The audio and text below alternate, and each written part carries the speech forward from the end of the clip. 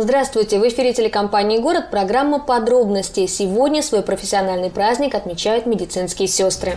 Фактически празднику уже более 150 лет, но только в январе 1974 года было принято официальное решение отмечать этот день 12 мая. С момента объединения сестер милосердия из 141 страны в профессиональную общественную организацию. В Россию праздник пришел много позже, в 1993 -м. В настоящее время медицинские сестры составляют самую многочисленную категорию работников здравоохранения. У нас в гостях Любовь Копленкова, старшая медицинская сестра детского анестезиолога реанимационного отделения. Работаю я с 1978 года. Когда закончила Рязанское медицинское училище, пришла на работу в детское хирургическое отделение 10-й городской больницы. В то время еще не было э, отделения реанимации, была только детская анестезиология. И с 1 апреля 1979 года тогдашняя заведующая детским отделением хирургическим Асташкин Клер Владимировна решила организовать палату интенсивной терапии для помощи самым тяжелым детям изо всех районов нашей области. Совсем малыши, они ведь не скажут, где болит. Они боятся взрослых, они боятся странных запахов, предметов. Да, конечно. Детки, они такие непредсказуемые очень. У них такие выражения лица. Они э, излучают сострадание, какую-то боль, страх, ужас.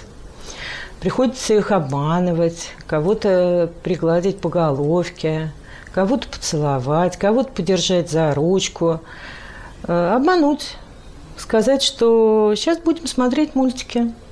И что дальше? А дальше положили масочку с наркозом. И ребеночек смотрит мультики, уверенный в этом.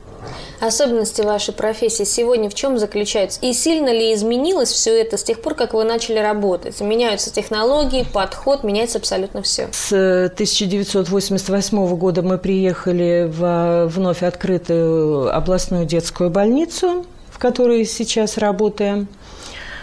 Естественно, у нас стало очень большое отделение реанимации на 6 коек. Больница у нас уникальная, многопрофильная очень много отделений, которые, ну, естественно, просто они единственные в своем роде.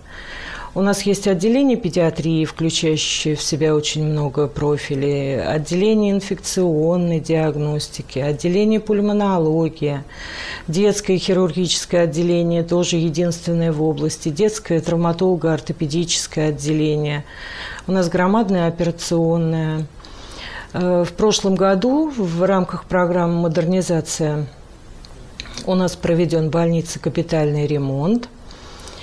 И в рамках этой же программы и в рамках программы ДТП трассы М6 э, у нас получено очень много оборудования высокотехнологичного, которое очень помогает нам в работе. Это следящая, наркозная аппаратура – дыхательная аппаратура. Да детишки, они же постоянно пытаются что-то проглотить, э, что-то вот сделать не то совершенно. То есть часто приходится сталкиваться с такими случаями, может быть, когда, слава богу, ложные вызовы, когда мама просто перенервничала. Нет, такие случаи не ложные, они практически бывают ежедневные. Детки глотают монетки, колпачки от ручек, батарейки. У нас есть очень крупный кабинет эндоскопический, и мы извлекаем эти вещи и дарим мамам на память, чтобы больше такого не повторилось. Кто за ними смотрит, когда они находятся на стационаре? Там, вы правильно сказали, они и бегают, и ползают, и пытаются все рассмотреть. И наверняка, если какая-то капельница или еще что-то, ребенку-то интересно, ему сразу не объяснишь, что трогать нельзя. Ему интересно, естественно, и вынимают у нас все и зонды, и катетеры, бывает и такое. Смотрит медицинская сестра. Хорошо, если в профильных отделениях, конечно, детки находятся с мамами, а у нас-то они одни, без мам, поэтому это только Нежные, ласковые ручки медсестры. Почему вы выбрали именно эту профессию? Шла я исключительно в медицинское училище и на такой факультет, который называется медицинская сестра детских лечебно-профилактических учреждений. Там я и осталась в детстве.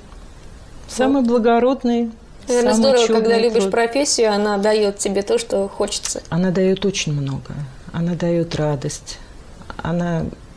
Это вот, вы представляете, глазки этих детей, которые понимают, что ты им помогаешь. Они привыкают, они иногда называют нас мамами. Я вот хотела спросить, вы для многих детишек, незнакомых тети Любы, и они вам, может быть, кричат, радуются, когда видят? Радуются, кричат, и мы поддерживаем отношения еще с теми детьми, которые, которых мы лечили 36 лет назад.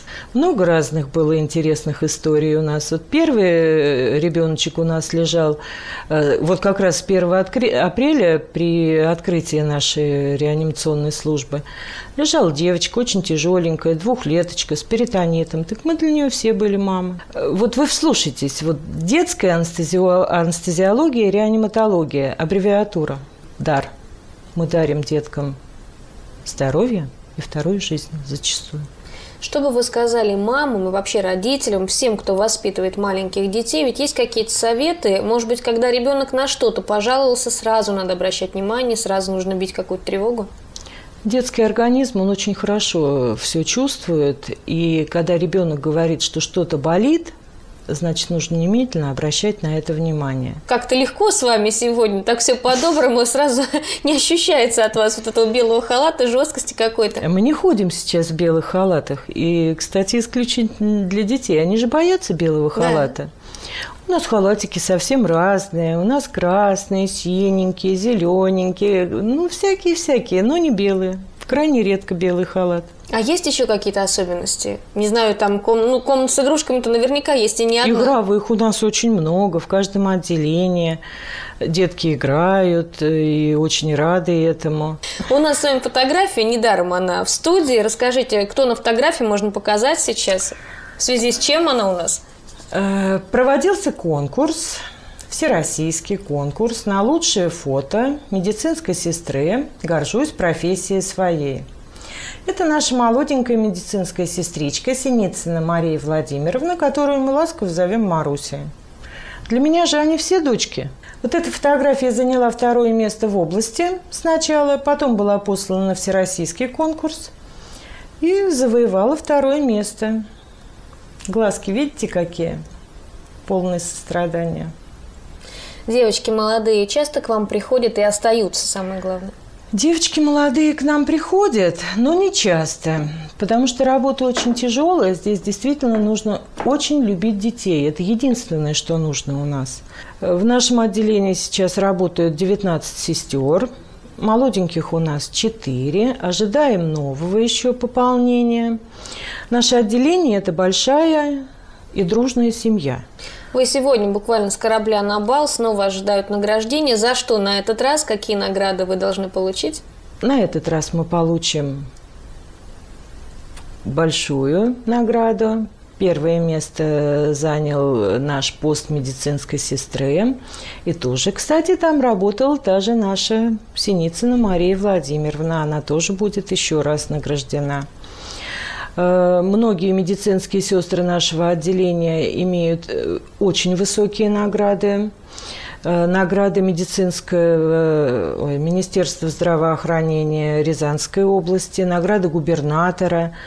И сегодня тоже будут вручаться грамоты от Министерства здравоохранения и от областной думы у вас есть возможность поздравить всех, кого вы сегодня не встретите, потому что медицинские сестры, они все время на службе, они помогают малышам.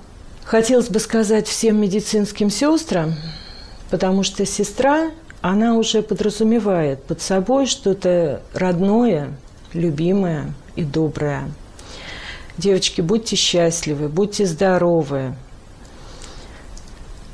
Любите свою работу, и гордитесь ей. Спасибо вам большое. Я напоминаю, это была программа подробности. Главное, будьте здоровы. Строительная компания «Мервинский» предлагает квартиры в привлекательном и удобном для проживания многоквартирном доме в центре города. Жилой комплекс бизнес-класса «Маяковский» – это удобная современная планировка, импортные лифты, автономное отопление, подземная парковка. Подробности по телефону 3 пятерки 3 ноля.